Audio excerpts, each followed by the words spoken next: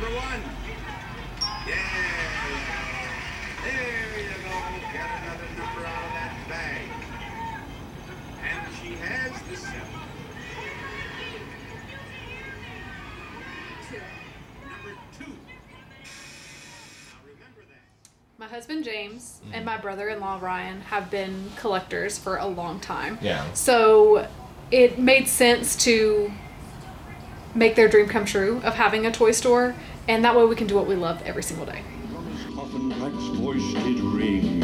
Seemed he was troubled by just one thing. Opened the lid and shook his fist and said, What did you do before this? Um, I worked at UPS as a training supervisor, so I've already been around kind of um, strategic logistics, moving things around. Um, my husband worked at Super Home Surplus, um, which they do cabinets and flooring and all that, and he's always been into building. Um, so that comes into play when you're putting things together. Yeah. And um, Lots of shelves. yeah. Ryan and Leslie. Um, Ryan um, works at Nashville Shores, and he's still there. And then Leslie does um, home health care as well. So Oh wow. I mean, that's again, you guys are one of the most productive families in, in Tennessee. yeah, we lo- we really love to stay busy, and we're all have that helping type of spirit. So 100%. um, you know whether it's it's toys or helping somebody get the things that they need in their house. That's just who we are. Helping everyone of all ages find the things that make them happy whether it's a kid they're cleaning their room making room for new toys or an adult that's looking for a piece to complete their collection we're happy to help and we truly love what we do Yeah, I think that's that's important too because, I mean, that's sort of like a mission statement, right? Mm-hmm. About the whole thing because, you know, I think a lot of people might say, "Yeah, I love toys. I love these things when I grew up," but would not make that like a vocation. yeah But I think, I mean, I just saw it.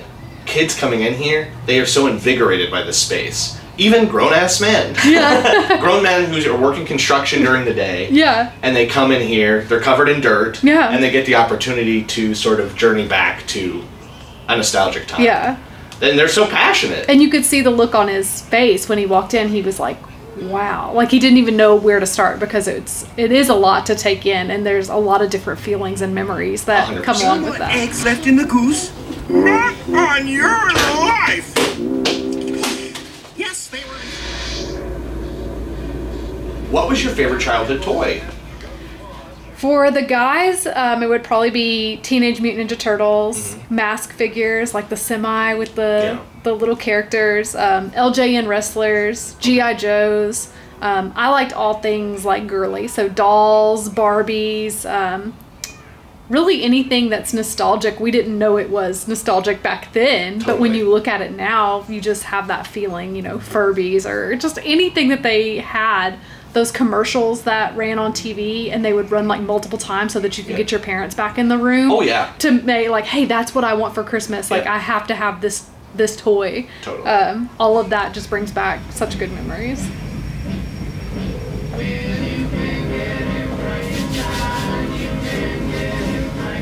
In the next 10 years, um, we hope to be helping in the community and getting out there more. Um, we would love to personally do more conventions and events, um, sharing what we do with others.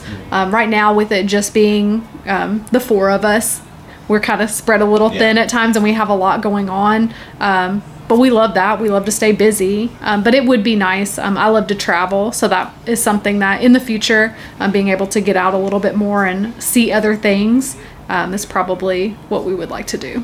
We get the opportunity to like have someone else able to run it Absolutely. uh, that you could trust. Yeah. Which I know is probably scary. It is, and Yeah. luckily, um, we do have other family members that step in if if something was to happen. If we if we need to go somewhere or one of us gets sick, um, we have um, another brother named Dylan that Oh, so he'll he'll step in and help us as well, which has been it's nice to know that you can rely on family. It's a family affair. You always disagree with me, sis. I do not. Yes, you do. I do not. Oh, I have it your way. You don't. That's what you think. Listen, Do you ever think about like a certain kid or a certain customer who's really excited about like one thing? Oh yeah, as soon as something walks through the door, whether it's you know, Power Rangers, Teenage Mutant Ninja Turtles, Hello Kitty. Like Yeah. I always, I usually do think of that one person that was like, ooh, they would really like this. Yeah. And um, a lot of times I'll message or text that person if I have their contact information or hold it until I see them again because I think that's what sets us apart from those big box retailers is we do want to help you complete your collection or bring you something that that you find joy in. Um, you know, a lot of times we're so busy and things are just back to back to back, and you move the next thing. A lot of times, that stepping in our door and kind of just walking around might be the only time that you really have to yourself or to do something fun for the day. So we like to make sure that we create a good experience to do that in. Went home and converted the whole castle to a floating mini mall. The end. That's it, Orson. Yeah, yeah. We're laughing on those dogs. Hey, I found the letter P. Say the word. Now you'll never And same to us, our customers have made us things, um, little like 3D models or just painted something that a color that they know that I like, and like that really means a lot. Yeah. Um, we had a customer that made the Hitchhiker video banner in that Yes. room, and just um, it was a, a customer and his brother that brought it in, but like that really means a lot. It was a huge thing to move over to this location and have a bigger space to do that in, but to hang that up and it's just something special that it's not something that you went and bought down the road. Like they he designed it and got it printed and brought it to us. Like because I think that's the so space cool. so much. Yeah, That- yeah. That is kind of the ultimate sign off on what you guys do. Absolutely. Because that took a lot of time. Yeah. It's a great sign. I'm a big big believer in you know you only live once. Do what makes you happy. Um, I know we all have to go through that period, especially when you're younger, of working jobs that you don't want to work because we have to pay bills and we have to do things in adulthood. But eventually, you know, you don't want to get to where you're 50 or 60 and you wake up and you're like, I don't even like what I've been doing half my life.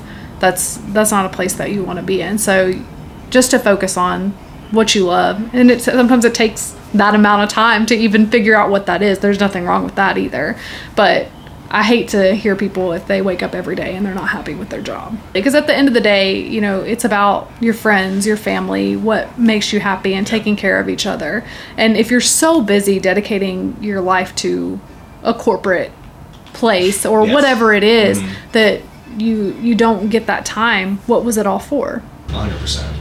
And this is a place where you can actually have the positive effect on people who might be living those sh- lives with Mm-hmm. those jobs. And this is like the highlight of their days or their weeks. Absolutely. People people even travel from different places to come check out us, the comic book shop, the card shop, because we're all together in one. Um, and that's one thing that we definitely moving over here. We wanted to make it a destination where you can come and it's not just stuff, but an experience, and you have all those feels too. Yeah.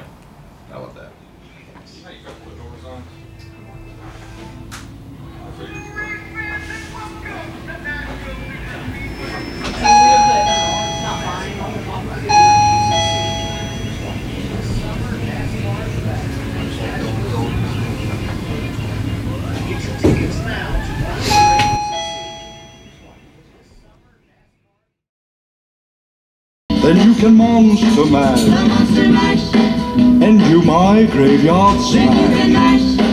You'll catch on in a flash. Then you can monster mash